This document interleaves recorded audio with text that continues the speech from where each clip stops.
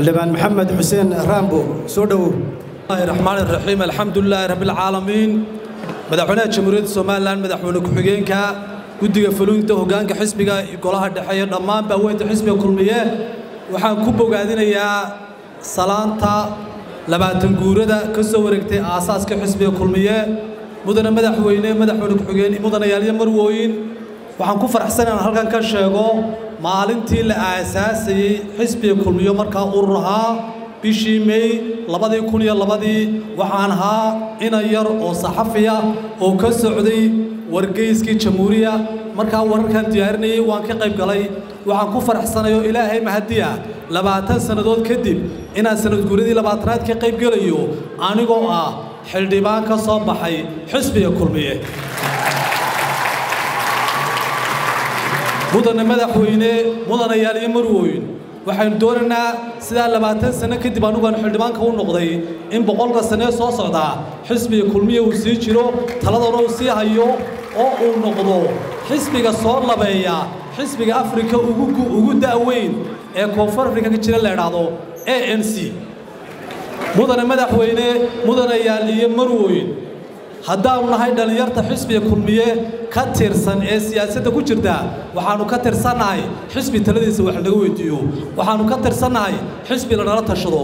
Waxaannu ka tirsannahay xisbi aanaan ku hayn marti ee aannu taladiisa mustaqbalkiisa aanu jaangoyno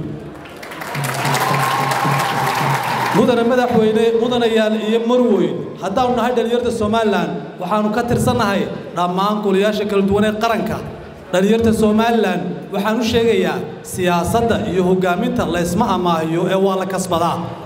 Dhallinyaradu waa inay ogaadaan inaan siyaasadda dusha lagaga soo boodin haddaad fikta sare kaga soo booddo ood ka siibadda sallaanka marka markaad xilku kaa dhammaado dib uma soo noqonaysid waxaase ku fiican oo dhallinyarta u habboon inay siyaasadda halka hoose ka soo bilaabaan si ay baarka u gaadhaan iyagoo bislaaday oo soo jabay oo soo maray halaag fara badan.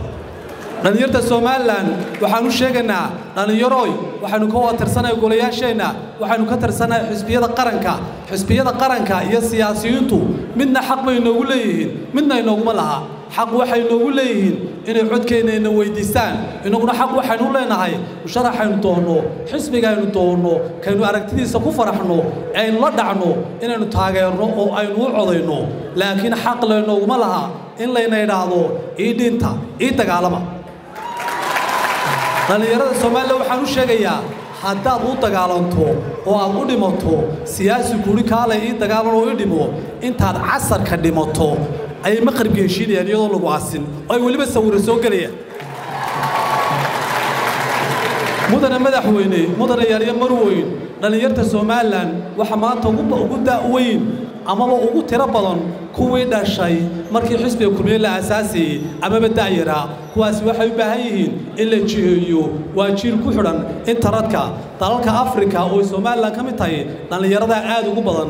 Dhallinyaradaasi waxay u baahan yihiin jaa'in mudane madaxweyne markii aanu siyaasadda soo galnay haddaanu nahay da'yarta xisbiga kulmiye habeen baad noo yeedhay. Waxaad nagu tidhi waxaan idinka doonayaa in dhallinyarada siyaasadda xiisaynaysaa ay idinka arkaan natiijo wanaagsan oo qorshe cad aad la timaadaan oo aanay idinka niyad jabin mudane madaxweyne dhallinyarta somalilan waxaanu la diyaarnay haddaanu nahay dhallinyarta xisbiga kulmiye inaannu jihayno qaybteeda ka qaadno dhallinyarta waxaan ugu baaqayaa xisbiga kulmiye waa xisbi la wada leeyahay.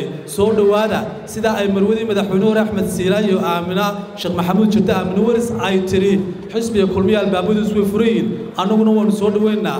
Waxaanan diyaar u nahay mudane madaxweyne mudane yaaliyo marweyn inaanu dhallinyarta somalilan la qaadanno kulan ballaadhan haddii alla idhaahdo oo aan isku qancino iskuna doonno dhallinyarta waxaan u sheegaynaa innagaa mustaqbalka leh. Cidi ma laha. Innagaa mustaqbalka leh.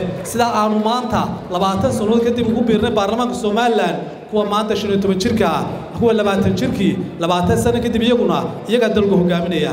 Aad iyo aad baad mahadsantihin asalaamu calaykum waraxmatullahi wabarakaatu